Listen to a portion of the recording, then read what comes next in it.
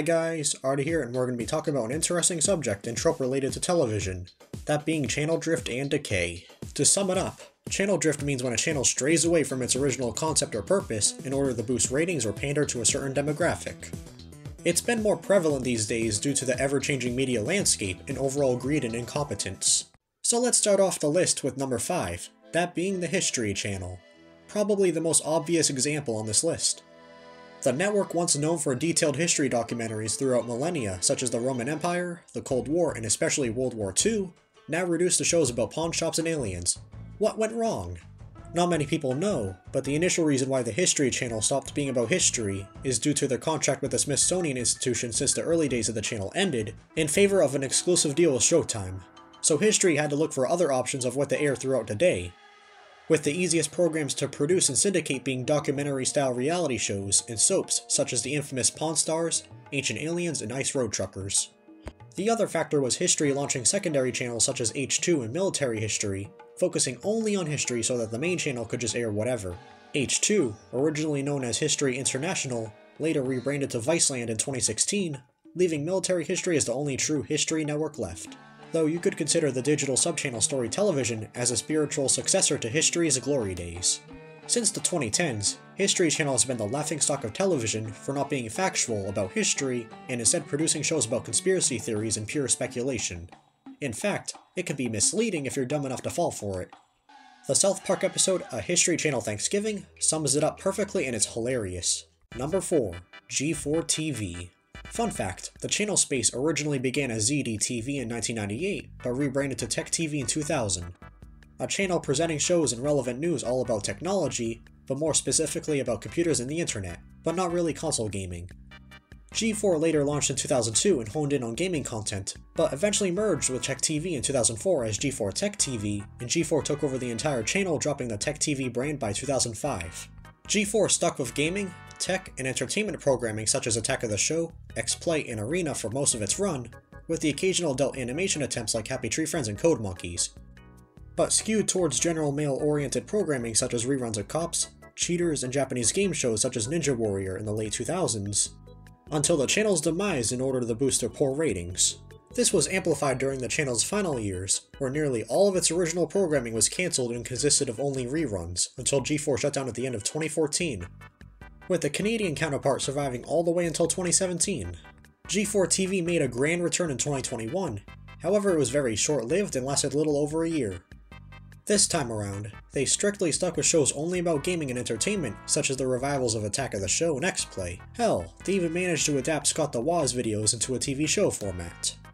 There was a slew of reasons why the G4 revival failed, such as cord cutting and general incompetence, which I already discussed in the very first video I uploaded on my channel. It's very rough, so I'll probably remake it in the future. G4 TV officially stopped playing on November 18th, 2022.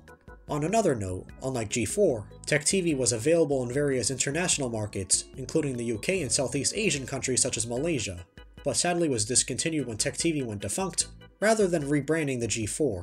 However, some G4 programming like Attack of the Show aired on its sister channel Sci-Fi in some territories. I guess G4 stopped playing for real this time, unless they come back on October 4th, 2029. Try to figure out in the comments how I pulled that date out of my ass. Winner gets a free shoutout. Number 3. TLC, formerly known as the Learning Channel. Before it was entirely composed of gross out reality shows like Hoarders, My 600 Pound Life, and Honey Boo Boo, it was actually all educational programming. Educational programming. That's me. I'm just kidding. Starting from its debut in 1980, TLC aired documentaries, edutainment shows, and covered a variety of subjects from history to health and science. They even had a few PBS shows like The Magic School Bus airing at one point on the Ready Set Learn block. Starting in the 2000s, they began drifting into reality shows. Due to how successful they were, TLC transformed into a full-fledged reality channel by the 2010s. More specifically, reality shows and documentaries about lifestyle and personal life experiences were the only programs featured on the network. If you ever just wanted to make yourself cringe or lose your appetite, all you have to do is tune into TLC. There's no sign of it stopping, in fact it just keeps growing in popularity. I always see clips of hoarders and extreme cheapskates being uploaded onto YouTube.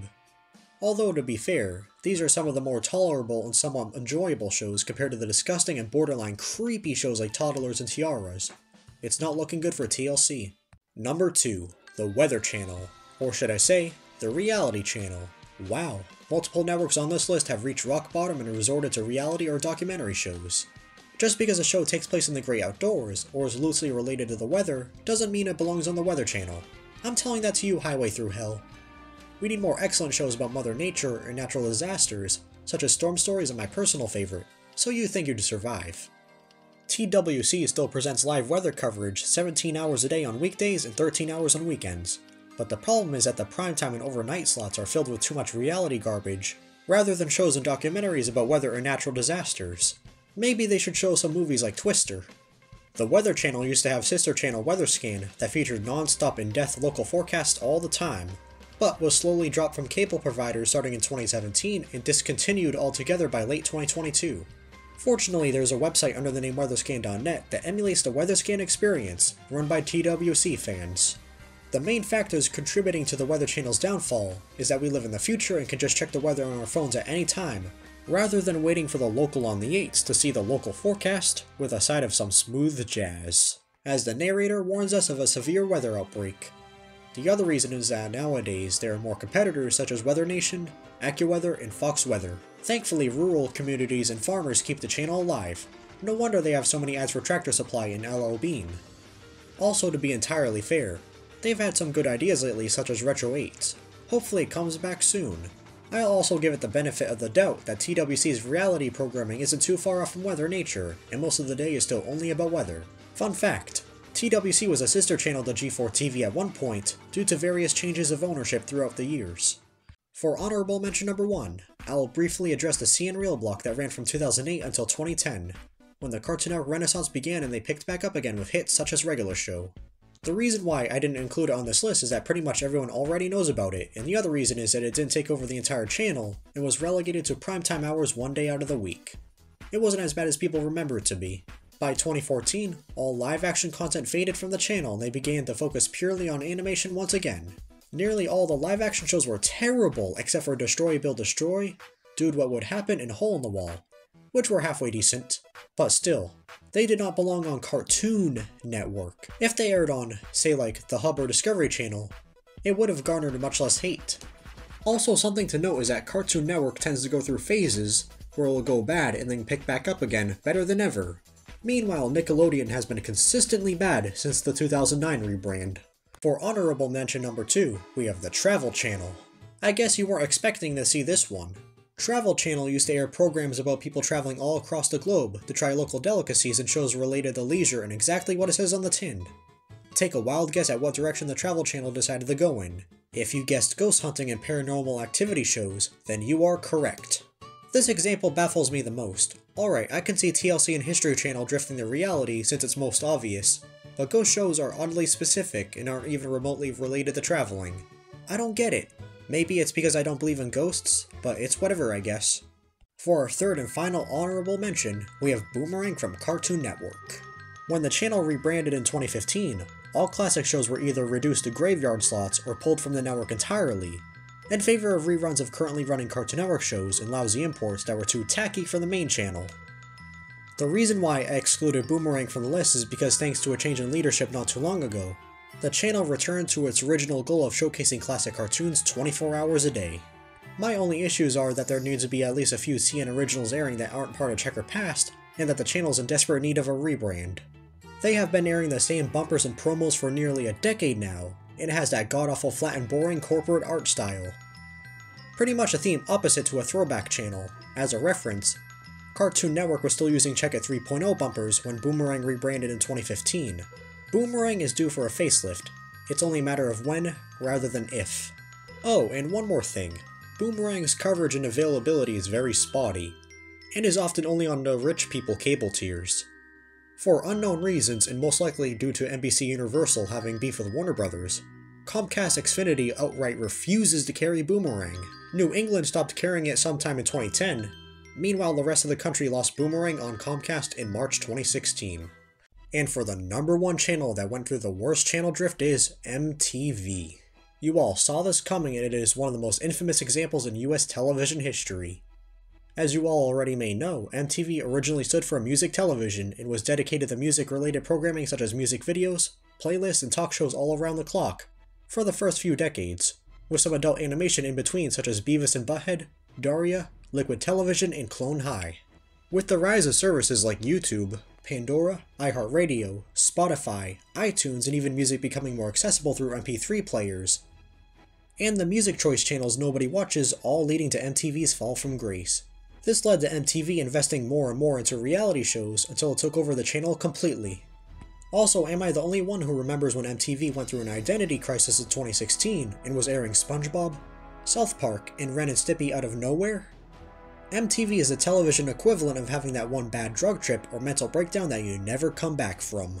These days, MTV is basically a 24 hour loop of never ending ridiculousness, with some movies sandwiched in between and the occasional new episode of Teen Mom or Catfish.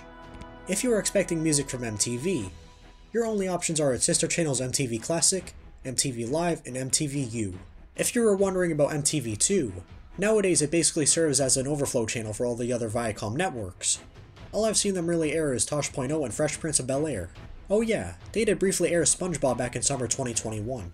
It's sad that the channel that was initially known for celebrating all genres of music and showcasing experimental and ingenious adult animated shows for the first few decades was reduced to shows that promote failures and high school dropouts, and eventually devolved into ridiculousness, quite literally. MTV defined cable when it was taking off in the 80s and 90s, and was a tool that helped creators grow and express themselves that changed the landscape of TV forever. As traditional cable TV struggles to stay afloat in the age of cord cutting, streaming, and video sharing sites, channels had to find alternative ways to survive and remain profitable, whether that be spamming endless marathons of the same shows all day every day, or straying away from the channel's original concept to pander to a more broad demographic. Now that cable is hitting rock bottom, companies have given up and there's been lots of experimentation, for better or for worse. That's why Cartoon Network and Boomerang went back to their roots. Who knows, cable might be on the road to death, or it could make a resurgence, especially with how mismanaged streaming platforms are these days. Who knows honestly. Thank you for watching. Make sure to like, comment, subscribe, share, notify, and check out other videos on the channel. You may like them. Are there any other channels that also went off the rails that I didn't cover on the list? Let me know in the comments. Also special thanks to TV Tropes for helping with research for this video, the go-to for all the trends, history, and facts about television and media as a whole. Also, you should check out 4G TV on Twitch.